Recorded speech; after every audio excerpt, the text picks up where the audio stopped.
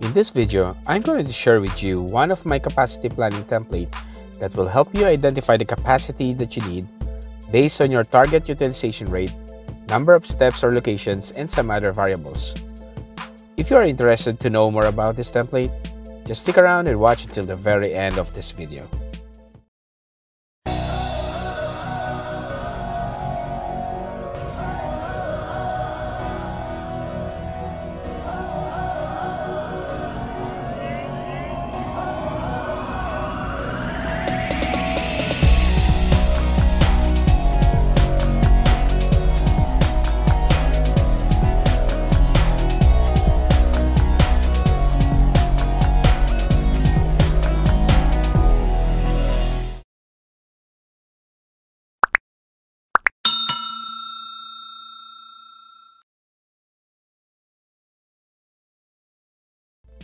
For several years, I've been using this discrete event simulation software to work on some capacity planning projects. This is a really powerful tool as you can replicate an entire system no matter how simple or complicated it is and analyze it to identify utilization rate, waiting time, overall processing time, and much more. I had this idea if it would be possible to replicate this, at least some of its functionalities in Excel. Before we proceed with the actual demonstration, allow me to give you some background on this template. There are three simple steps that you need to be aware of when running this simulation software. First, you need to gather assumptions that will be used as your input variables.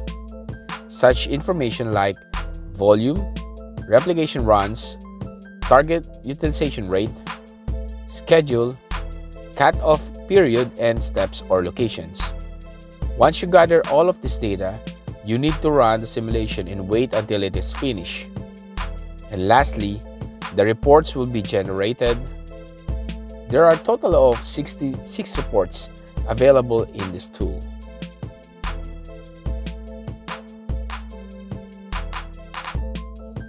To start off, let's enter our assumptions.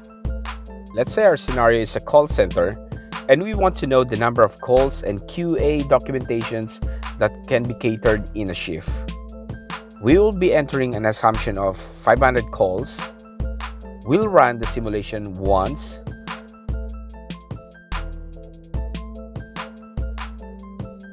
Then targeting 90% utilization rate. Let's say the shift schedules from 7 to 3 p.m.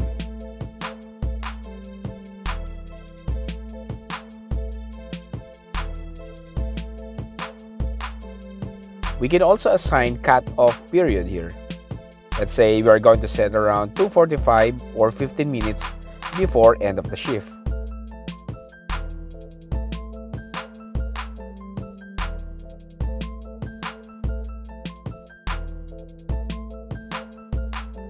As per the steps, we will add two locations here.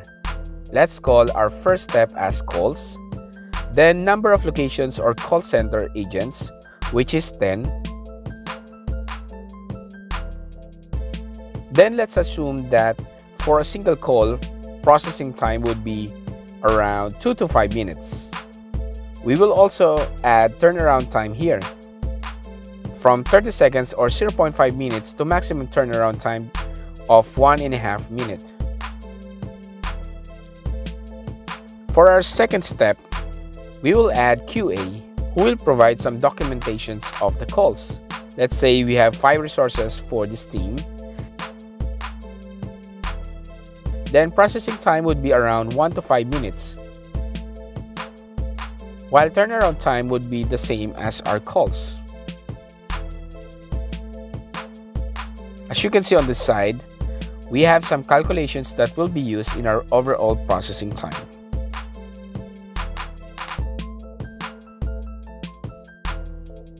Now, let's run our model and see what we can get. On this status bar, we can see the number of calls being processed and its replications. Let's wait until it is finished.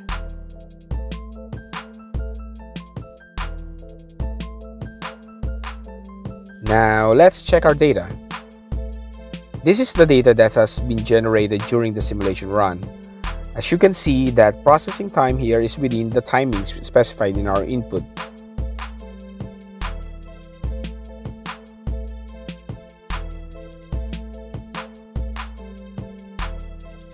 Same goes with our turnaround time, which if you remember we have set it to 0.5 to 1.5 minutes.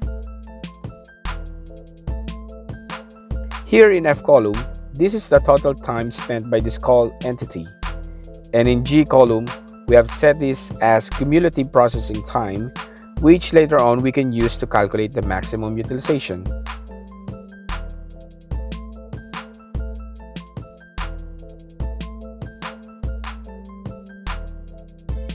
On our first report, we can see the comparison of the projected and processed volume, which is equal. This means that all of our calls are processed by both entity calls and QA, no unprocessed call, and no need for additional capacity.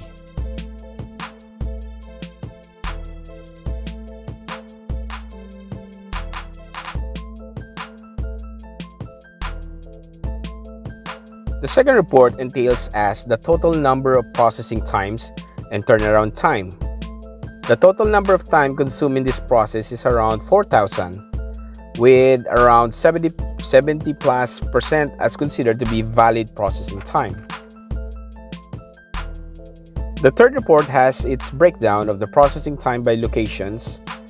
This will split the process time that we have discussed earlier, which is around 3,000 minutes.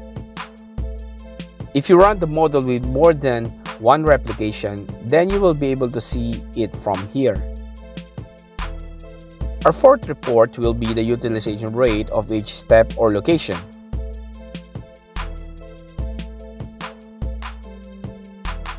Now, let's move to our next report. Here we can check the available capacity that we have to target and for full utilization. As you may remember, we have set the target to 90% utilization rate.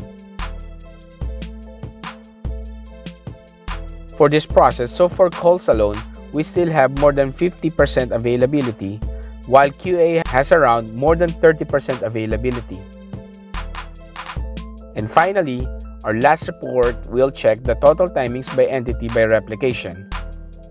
We can also see the minimum processing time that a single transaction has been processed in both calls and QA, as well as median, average, and maximum value. If you want to get a copy of this template, visit us on our Facebook page at www.facebook.com slash excel by Romeo Costillas. Hope you like it guys. Enjoy and keep safe everyone.